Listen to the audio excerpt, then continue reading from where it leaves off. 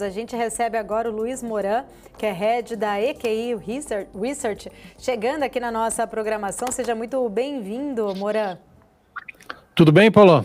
Como vai? Tudo certo. Tudo certo, tudo ótimo. Obrigada pela sua presença. Moran, a gente estava até falando aqui anteriormente um pouco mais sobre algumas preocupações sobre o cenário fiscal. Inclusive, eu estava até vendo que a EQI acabou revisando ali né, as projeções do cenário fiscal. Eu estava lendo uma matéria da, do próprio Stefan ali, trazendo algumas projeções, projetando um déficit de 1,4, inclusive aí no PIB do país, contra uma estimativa anterior que vocês estavam projetando ali 0,9. Enfim, né? Queria entender um pouco é, qual que é o impacto impacto que vocês estão lidando dessa questão deste cenário especificamente em cima ali dos ativos de risco? Qual o impacto, de fato, com essas alterações das projeções do fiscal para os ativos de risco? Bom, eu estava até eu estava acompanhando a programação antes, eu estava vendo meu, meu, meu querido amigo Tomás Awad e tal. Tomás, enfim, a gente trabalhou junto muito tempo, tal, gosto muito do Tomás, tal. Mas Tomás sempre foi um cara muito preocupado, ele continua bastante preocupado. A, a gente está com uma, uma, é, é, A gente acha que tem, tem duas coisas acontecendo ao mesmo tempo. Você tem um uhum. cenário externo que ele é dominante. Uh, e a gente viu isso, a gente viu uh, a partir de meados do mês passado, quando a gente teve o, o uma, maior, uma maior visibilidade da, da do, do, que ia acontecer, principalmente do ponto de vista das emissões do Tesouro Americano, a gente viu o mercado ficar um pouco mais tranquilo com relação aos juros, principalmente os juros longos, são super importantes, uh, e isso teve impacto claro aqui na Bolsa, tanto que a Bolsa está subindo 10% esse mês, não é por outro motivo. A gente está fundamentalmente vendo essa descompressão aí desse cenário externo, uh, que estava bastante, tava bastante é, preocupante. Uh, do lado do cenário interno, a gente continua vendo uma situação bastante que, que é conhecida, na verdade, e a gente tem falado isso com bastante clareza.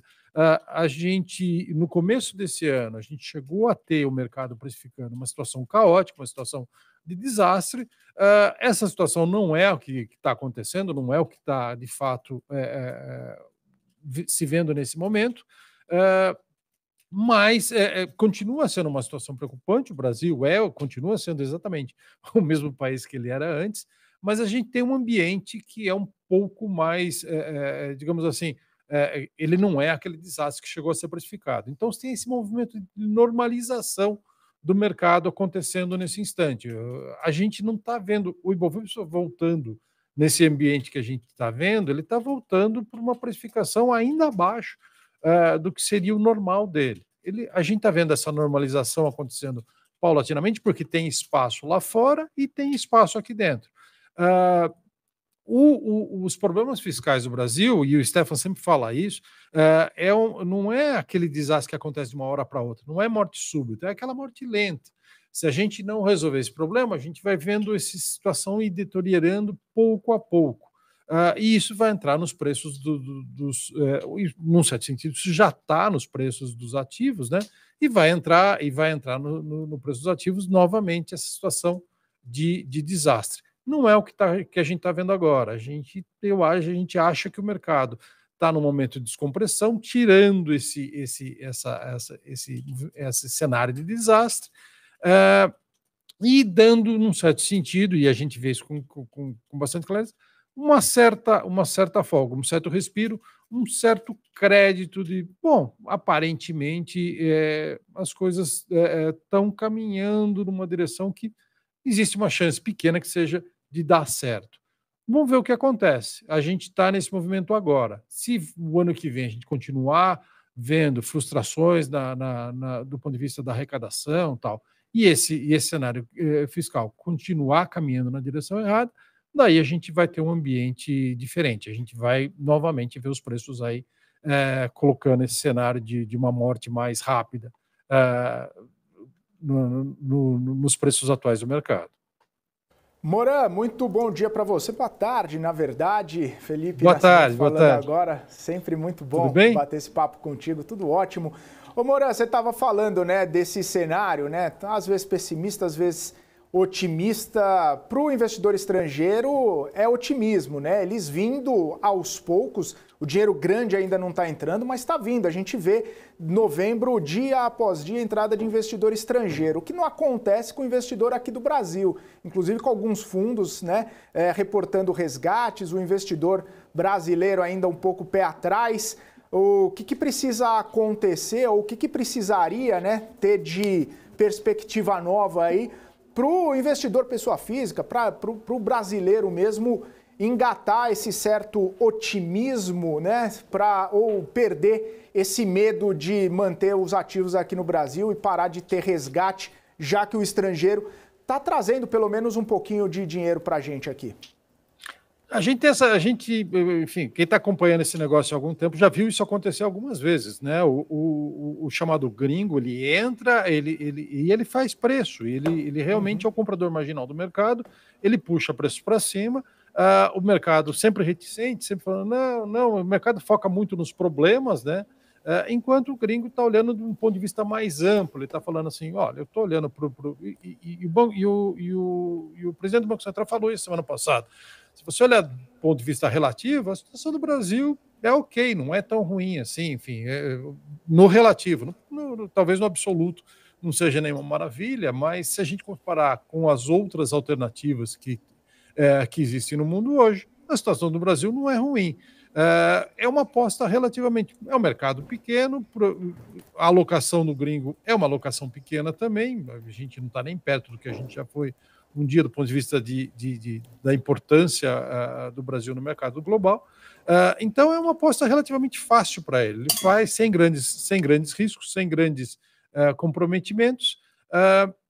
e a hora que o mercado aqui, que o investidor local vê, puxa, essa bolsa saiu de 100 mil, já tá, vai estar vai tá batendo daqui a pouco 130, 130 e poucos? Falo, ah, acho que está na hora.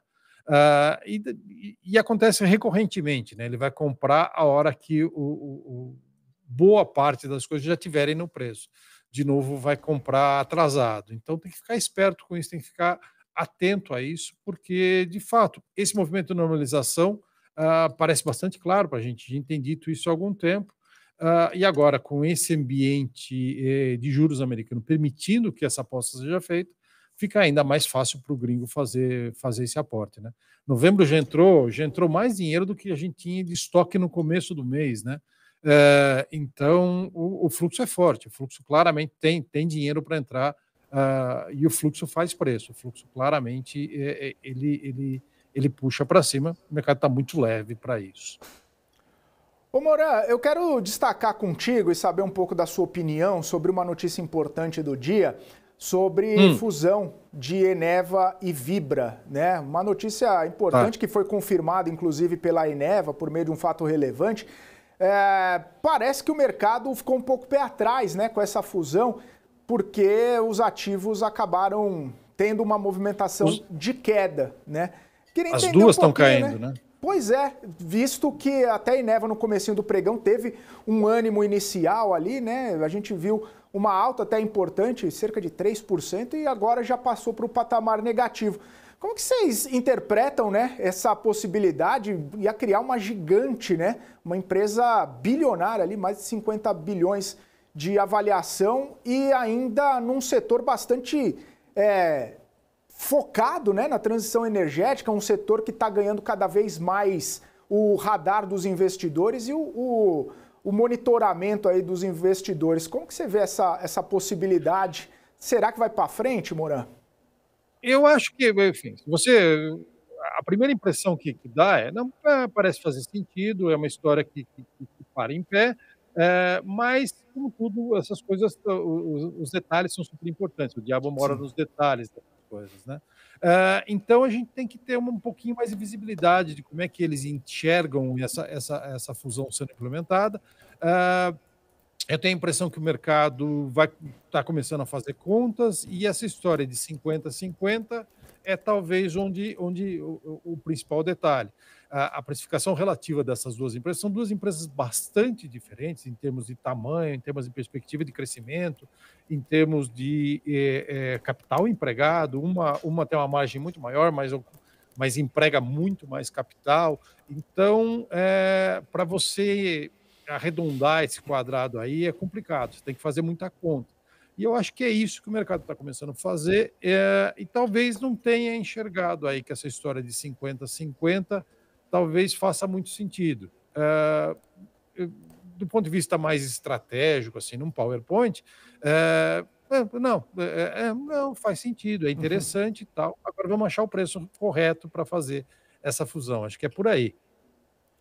Por aí, o preço também correto acaba sendo o ponto principal e depois se vai adiante, né? Os, os órgãos de controle, de regulação, para onde que vai, se aprova, se não aprova, enfim, tem tanta eu coisa acho que, eu acho que aí pra... acho que não, acho que aí acho não, não vai ter muito problema não. não. desse ponto de vista. Eu acho que não. Eu acho que aí é, é, do ponto de vista de, de, de concentração de mercado, tal, acho que não não tem, são duas empresas, principalmente nesses mercados mais relevantes de gás, tal, enfim, são concorrentes, mas é um mercado de concorrência perfeito, tal, não vejo muito, muita questão, não. Acho que é mais o mercado entender é, é, e ver exatamente é, de onde vêm esses ganhos da, da, da escala e da sinergia uh, e começar a colocar preço nisso.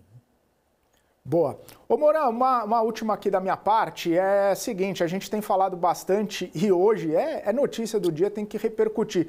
A questão de Americanas, que assinou né, o, o aquele acordo com os credores, é, possivelmente vai é, dar um, um, jeito ali, né, ou pelo menos tentar ajustar a operação da companhia, fazer esse acordo, mais capitalização, pode ser a, a virada de chave que a Americana estava precisando ou olhando para frente o, os passos né, que precisam ser dados são complicados, é, passo a passo e não necessariamente esse acordo vai virar a chave da companhia?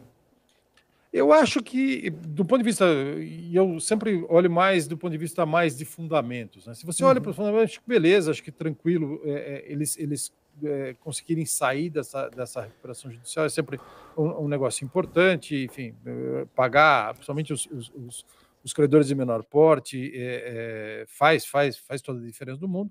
Mas é, eu acho que essa situação de Americanas ela levantou uma lebre que é, muita gente já falava antes. Qual é o modelo de negócio de Americanas? Esse negócio, é, esse modelo de negócios que a Americana tem hoje faz sentido ainda? Ela consegue recuperar o espaço que ela perdeu ao longo desse ano, uh, desde que desde, desde a eclosão daquela grande crise que ela perdeu no, no, no, no comércio eletrônico, uh, eu acho que o, modelo de negócios agora vai ter que ficar mais claro. A Americanas vai ter que deixar mais claro uh, como é que ela cria valor, uh, porque claramente parte desse negócio, eh, parte desse problema foi criado por um modelo de negócio que era focado em, em, em pedalar, pedalar, pedalar para frente, mas não tinha muita sustentabilidade eh, econômica no final das contas. Né? Então a gente vai ter que parar e voltar. Uh, faz sentido ter uma loja como essa? Faz sentido ter um, um ele tem espaço no varejo brasileiro ainda? Uh, tem uma perspectiva interessante. É um negócio que, que, que, que chama atenção, uh, oferece valor para o cliente e, e, depois se oferece valor para o cliente, oferece valor para o acionista. Uh, então, acho que tem um pouco disso, isso não está claro ainda. Acho que eles estão muito focados agora em, em resolver essa situação uh, financeira, né? Acho que é, é até uma questão existencial, uh, mas o passo seguinte é falar: beleza, isso está resolvido, a gente está capitalizado tal. O que vai ser dessa empresa daqui para frente? Isso não está claro na minha cabeça. Eu acho que isso que vai ser o próximo ponto aí, para a gente poder ficar um pouco mais um pouco mais animado com a história da companhia. Exato. Moran, quero agradecer. Muito obrigada, sempre muito boas análises. Fico o convite para voltar mais vezes aqui na nossa programação. Sempre um prazer. Pode contar comigo.